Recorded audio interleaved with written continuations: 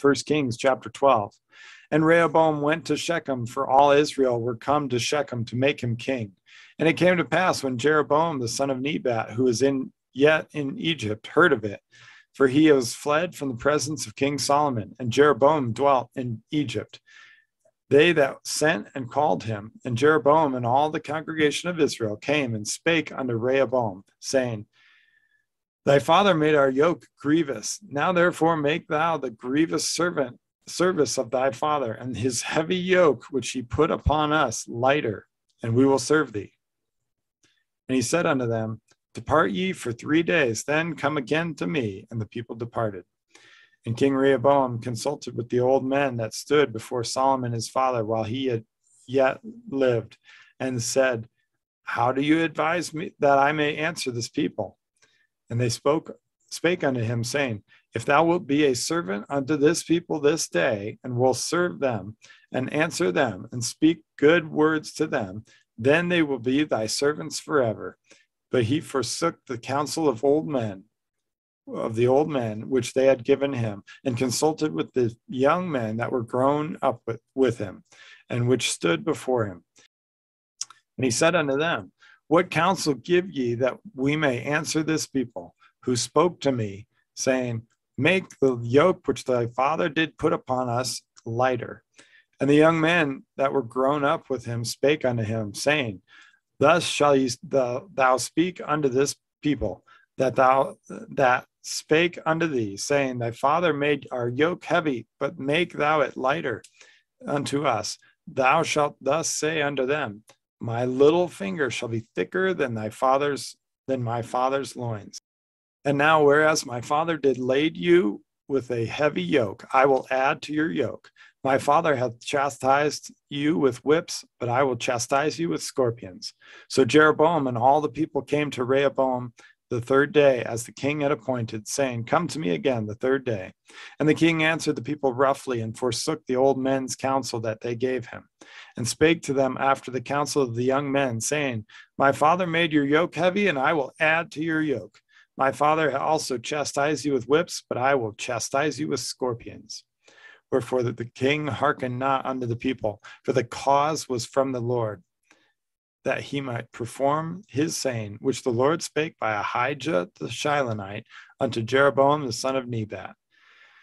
So when all Israel saw that the king hearkened not unto them, the people answered the king, saying, What portion have we in David? Neither have we inheritance in the son of Jesse. To your tents, O Israel. Now see to thine own house, David. So Israel departed unto their tents. But as for the children of Israel, which dwelt in the cities of Judah, Rehoboam reigned over them. Then King Rehoboam sent Adoram, which who was over the tribute, and all Israel stoned him with stones, and that he died. Therefore, King Rehoboam made speed to get him up to his chariot to flee to Jerusalem. So Israel rebelled against the house of David unto this day.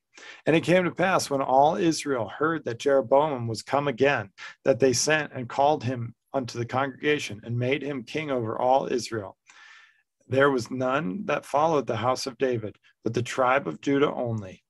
And when Rehoboam was come to Jerusalem, he assembled all the house of Judah with the tribe of Benjamin, an hundred and fourscore thousand chosen men, which were warriors to fight against the house of Israel, to bring the kingdom again to Rehoboam the son of Solomon. But the word of God came unto Shemaiah, the man of God, saying, Speak unto Rehoboam, the son of Solomon, king of Judah, and unto all the house of Judah and Benjamin, and to the remnant of the people, saying, Thus saith the Lord, ye shall not go up nor fight against your brethren, the children of Israel. Return every man to his house, for this thing is from me. They hearkened therefore to the word of the Lord, and de- returned to depart, according to the word of the Lord. Then Jeroboam built Shechem in Mount Ephraim, and dwelt therein, and went out from thence, and bu- built Penuel, Pen- Penuel and Jeroboam said in his heart, Now shall the kingdom return to the house of David. If this people go up to do sacrifice in the house of the Lord at Jerusalem, then shall the heart of this people turn again unto their Lord, even to Rehoboam king of Judah, and they shall kill me, and go again to Rehoboam king of Judah. Whereupon the king took counsel and made two calves of gold and said unto them, It is too much for you to go up to Jerusalem. Behold, thy gods, O Israel, which brought thee up out of the land of Egypt. And he set the one in Bethel, and the other put he in Dan. And this thing became a sin, for the people went to worship before the one, even unto Dan. And he made an house of high places, and made priests of the lowest of the people, which were not of the sons of Levi. And Jeroboam ordained a feast uh, in the eighth month on the fifteenth day of the month, like unto the feast that is in Judah. And he offered upon the altar. So did he in Bethel, sacrificing unto the calves that he had made. And he placed in Bethel the priests of the high places which he had made. So he offered upon the altar which he had made in Bethel the fifteenth day of the eighth month even in the how in the month which he had devised in his own heart, and ordained a feast unto the children of Israel, and he offered upon the altar and burnt incense. First Kings chapter 13. And behold, there came a man of God out of Judah by the word of the Lord unto Bethel.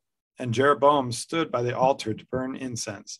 And he cried against the altar in the word of the Lord, and said, All altar, altar, thus saith the Lord, Behold, a child shall be born unto the house of David, Josiah by name, and upon thee shall he offer the priests of the high places that burn incense upon thee, and men's bones shall be burnt upon thee. And he gave a sign the same day, saying, This is the sign which the Lord hath spoken. Behold, the altar shall be rent, and the ashes that are upon it shall be poured out. And it came to pass when King King Jeroboam heard the saying of the man of God, which he had cried against the altar in Bethel, that he put forth his hand from the altar, saying, Lay hold on him. And his hand, which he put forth against him, dried up, so that he could not pull it in again to him. And the altar also was rent, and the ashes poured out from the altar, according to the sign which the man of God had given by the word of the Lord. And the king answered and said unto the man of God, Entreat now the face of the Lord thy God, and pray for me, that my hand may be restored me again. And the man of God besought the Lord, and the king's hand was restored again, and became as it was before. And the king said unto the man of God, Come home with me, and refresh thyself, and I will give thee a reward. And the man of God said unto the king, If thou wilt give me half thine house, and I will not go in with thee, Neither will I eat bread nor drink water in this place. For it was so charged me by the word of the Lord, saying, Eat no bread, nor drink water, nor turn again by the same way which that thou camest. So he went another way, and returned not by the way that he came to Bethel. Now there dwelt an old prophet in Bethel, and his sons came and told him all the works that the man of God had done that day in Bethel, the words which he had spoken unto the king. Them they told also to their father. And their father said unto them, What way went he? For his sons had seen what way the man of God went, which came from Judah. And he said unto his sons, Saddle me the ass. And so they saddled him the ass, and he rode thereon, and went after the man of God, and found him sitting under an oak. And he said unto him, Art thou the man of God that camest from Judah? And he said, I am. Then he said unto him, Come home with me and eat bread. And he said, I may not return with thee, nor go in with thee, neither will I eat bread nor drink water with thee in this place.